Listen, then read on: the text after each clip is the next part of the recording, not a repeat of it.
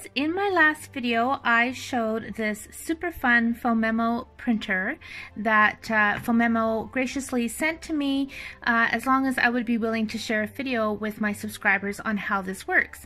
So I did that and now I'm going to be sharing another video. So in this video I'm going to share a couple of projects that I've been making with this printer and I will also be announcing the winner of the Phomemo printer giveaway that I have right now. So to see how this really fun printer works, click on the link below in my description so that you can see the previous video. But it is a thermal printer. It just opens up like this and inside we have the roll of white sticker paper. This also comes in gold and clear translucent and different colors. So I have the white in there now and this button turns it on. So just hold it down for a moment and then it turns green and then it's ready to go. And this runs on their free app and I have that on my phone and it's Bluetooth connected. So here are just a few images that I've printed. You want to make sure that you're using copyright free, royalty free uh, images. So a lot of the images that I have here are from Graphic Fairy because um, you can use those, which are awesome. But you can find tons of printables that um, that are available to use just by searching on Pinterest or Google image search. So in my last video, uh, I had mentioned that I hadn't tried coloring on these using our Stampin' Blends alcohol markers. Well, I've since tried and they don't work. They will smudge the lines away, but our regular Stampin' Write markers do work. So I'm going to go ahead and color this one.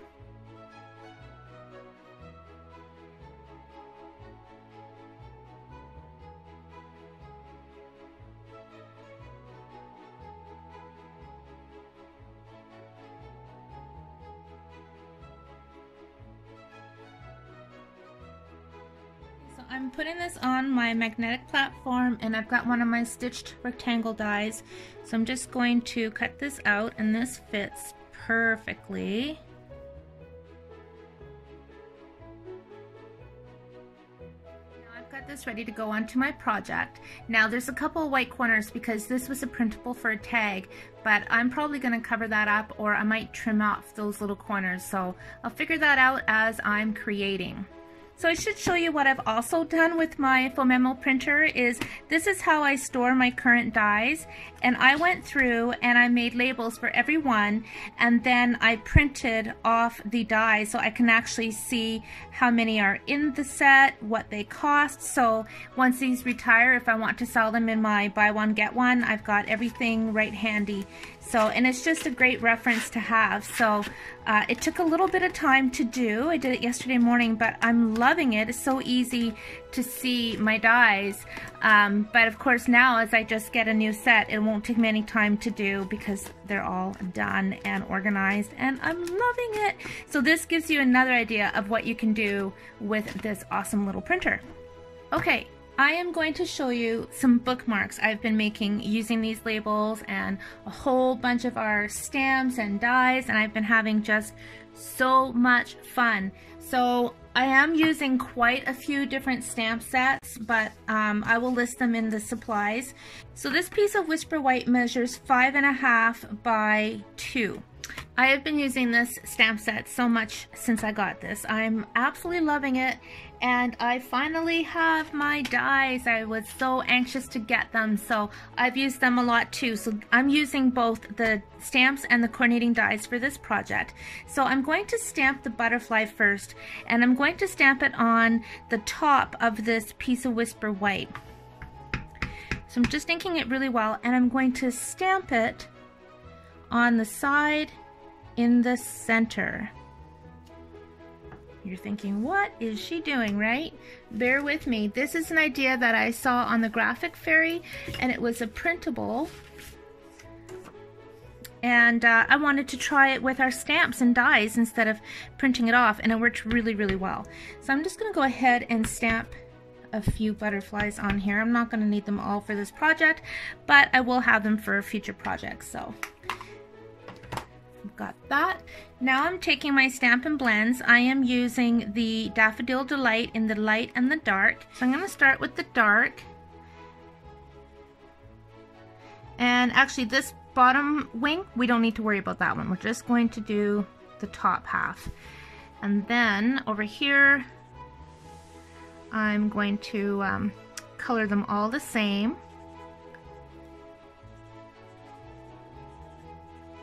And now I'm going in with my light Daffodil Delight. I am going to cut out all three butterflies. Now I'm going to cut just the top half of this butterfly. I don't want to cut into the bottom wing. So I'm going to put my die on, just like so and my plate. As soon as I feel it starting to cut, I barely go half a turn.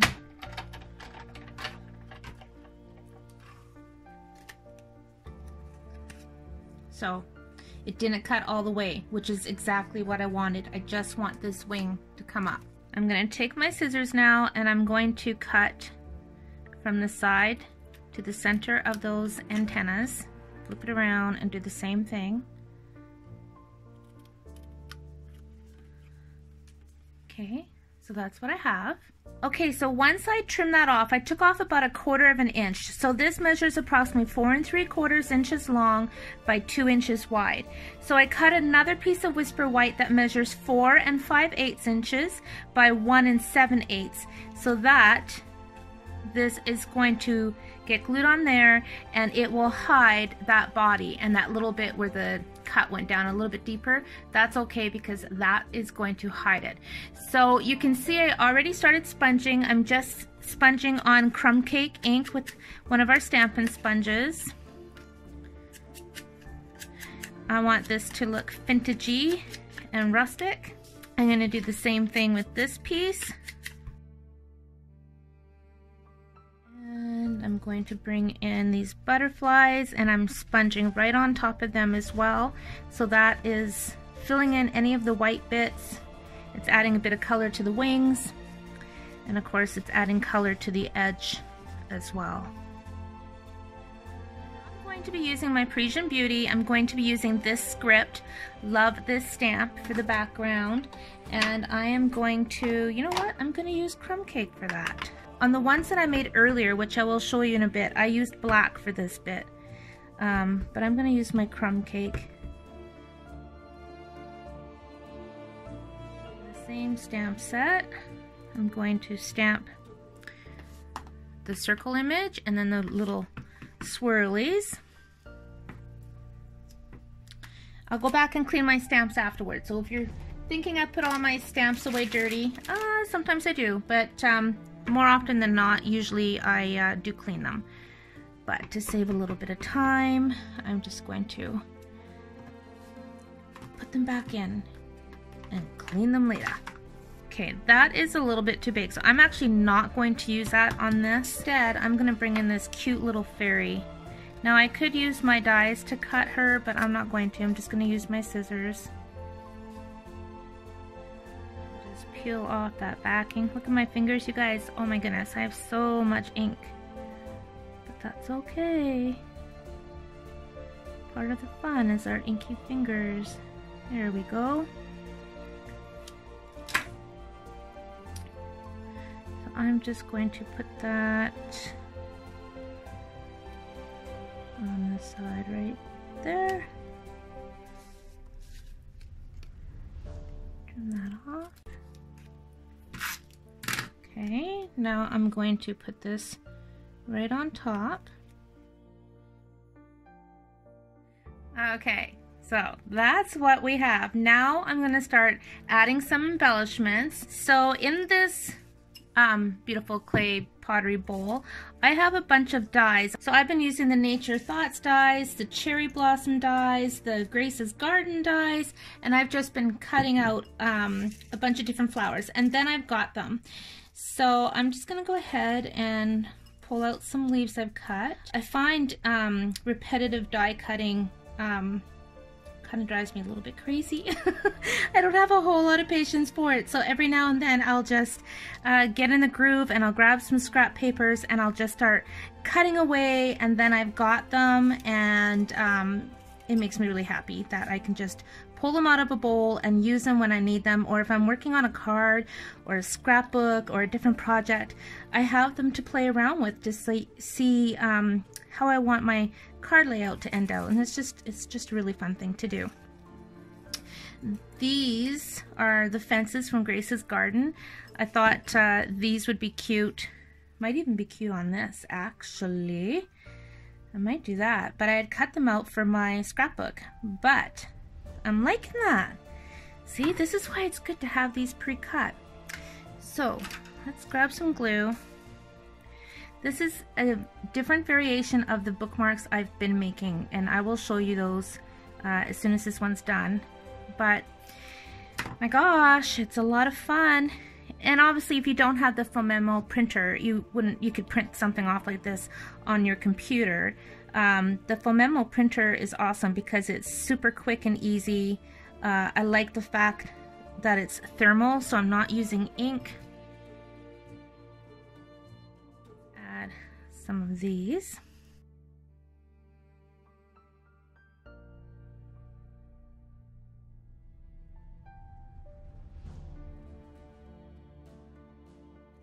Alright, we're dumping the bowl. Throw those back in. And of course, I've got glue on my fingers, so everything's sticking to me. Oh my gosh. Okay, here's what I'm looking for is this little guy, but that's an old olive and I've got a little bit of granny apple green there. So I want to find a different shade of green here. Look, told you I've got glue on my fingers. Here we go. Let's let's do this one. Sure if I'm gonna need greenery up there or not. Okay, so let's add some flowers after I get this glue off my fingers. By the way, if you need a little trick for taking this uh, glue off your fingers, what I do, so this is a really old bottle of StazOn cleaner, but I still have cleaner in it. But I put a little bit of that on my fingertips and I just kind of roll it around and the glue just comes right off. So for me, that works really good. All right, where were we? Okay, flowers. So what I'm gonna do is I'm just gonna fold up the flower, almost making it into like a little cup.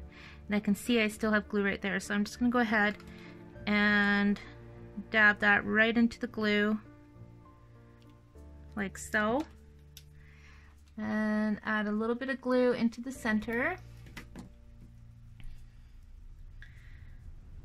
And again, fold this one up into like a little tiny cup. And push that right on top. Perfect. Um, I think I'll do one, one here.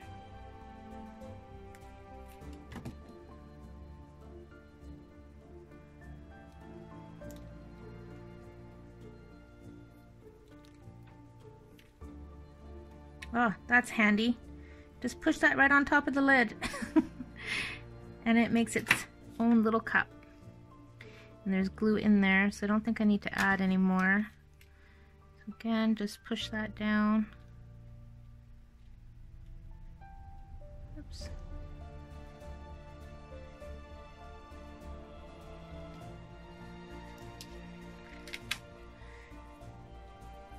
So you can see how those are dimensionalized. Don't know if that's a word, but it's a word I'm using today. More flowers. Let's grab some blue.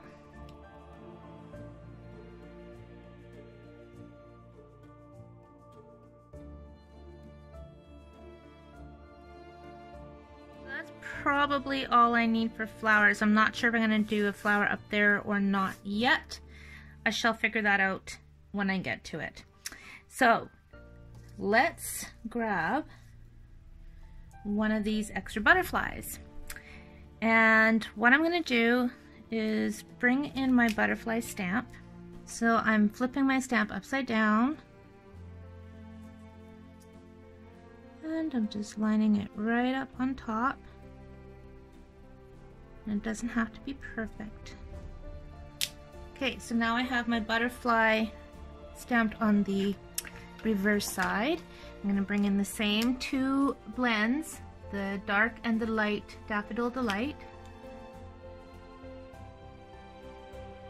And my crumb cake. So now I have a piece of basic black cardstock, which is the same um, size as this top layer. And I'm gonna go ahead and put that on the back of my bookmark. We're gonna add some glue behind this butterfly wing. And we've got this butterfly folded up in half. This is the one where we've got both sides stamped. And we are just going to glue these two pieces together.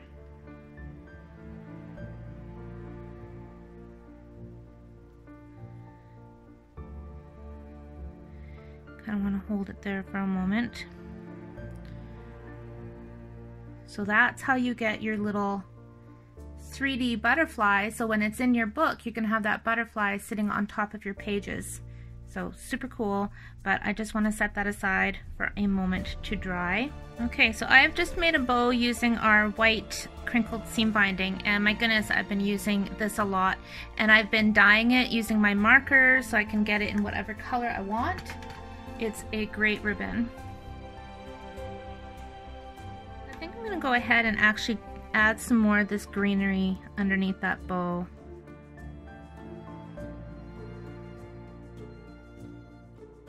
I'm gonna go ahead and use the Flirty Flamingo flower. So there's a lot of colorful flowers on this tag bookmark. These bookmarks actually, once you get going, they don't take very long to do. And um, they're just, they're so much fun. And honestly, a nice change of pace from making cards all the time. Oh, let's do this little trick again. All right, we're gonna put this here. just like so. A little dab of glue. That's a big dab of glue.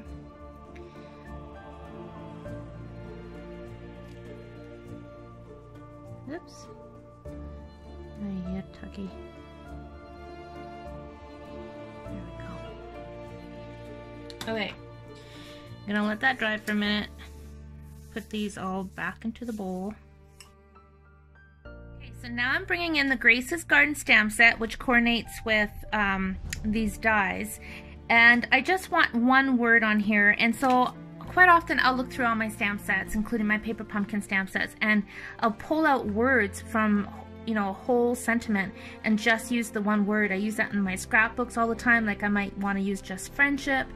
So it's a great way to get more mileage out of our stamps, but I want to use the word kindness. I have a piece of uh, scrap basic black. So I'm just bringing in my embossing buddy. Stamp the whole thing and emboss it in white. So I'm to snip this out. Alright, so we have the word kindness.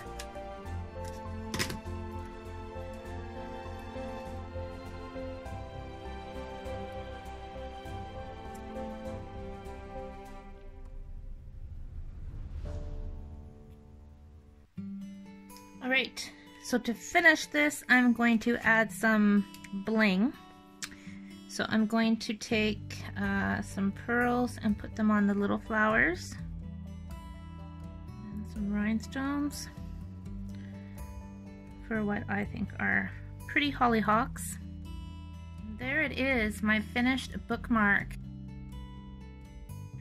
So I just grabbed the closest book that I have handy, which happens to be one of my favorites, but I'm just going to show you when you tuck your bookmark in, you see how you get the that butterfly up on top. It looks so cool. So much fun. So much fun, you guys.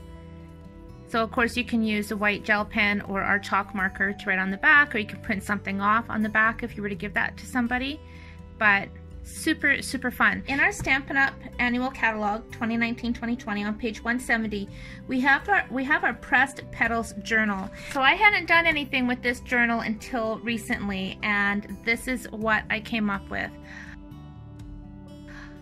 Holy fun. Holy fun. That's all I can say. So you can see I used the cherry blossom dies and the Forever Blossoms uh, stamp set. I used the um, Parisian Beauty for the background. I even have texture paste on here. I mean, this was just fun. And this I printed off on the Phomemo printer, Peaceful Mind, Grateful Heart. This die here is awesome. This is part of the Nature Nature Things dies, and I did that on our silver foil paper. So there's a lot happening on that. So much fun. So I've only just started filling this out. Um, so I'll do some more. So I just decorated that with the die cut I already had done up. Printed this picture off with my cat Forrest snuggling with me on the couch. And this journal already has some quotes in it. So this one says, the secret of having it all is knowing you already do. And then I added a quote from Mother Teresa that I like. I'm going to add a lot of quotes that I like in this book as well as just some journaling and, and a button from my stash and some ribbon scraps and designer series paper. Uh, I did another picture of my dogs, Rose and Cooper. This is actually last night when I was on the couch watching TV and they were snuggled up to me and Forrest is tucked behind them and then Romeo came along. But I was in in my state of bliss because I love it when my animals snuggle with me. So I put that in here and added some washi tape. Now here's another uh, bookmark that I made and this time I put the um, Forever Blossoms die cut on here. This is a picture printed off from the Phomemo. It's a couple little girls. And some ribbon, like just so much fun. And then on the back, I just decorated it like that. So that is one of the bookmarks.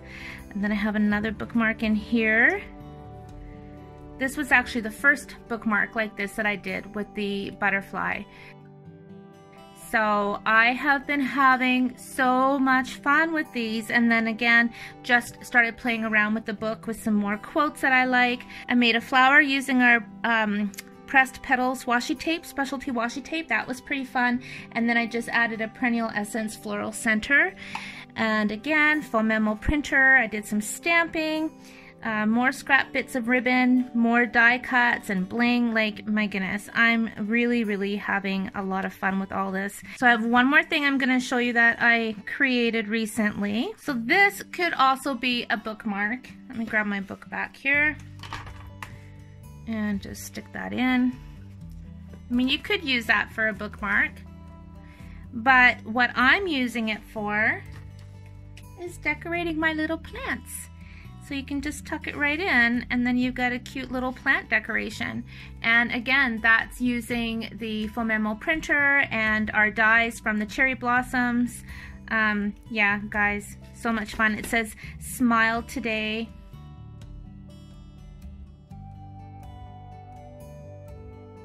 so that's really cute. Oh, and this one, um, I'm gonna stick this in this book later. I'm gonna use all of these in my book at some point. So you can see all the possibilities that you can use with this Phomemo printer, not to mention all of our amazing stamps and products from Stampin' Up. I had so much fun playing with all my dies and all my stamps and the coloring. Like it's just, it's a refreshing change from making cards, but I love how we can also make our cards to coordinate with these gift items that we could give to somebody special as well. So now let's get on to the winner of the Phomemo printer giveaway. Congratulations to the winner of the Phomemo printer and thank you so much to Phomemo for uh, gifting me with my printer and gifting one of my subscribers with a printer as well. I really appreciate that and I really appreciate everyone who left wonderful comments. Thank you so much for watching. I appreciate you. Have a great day and happy stamping.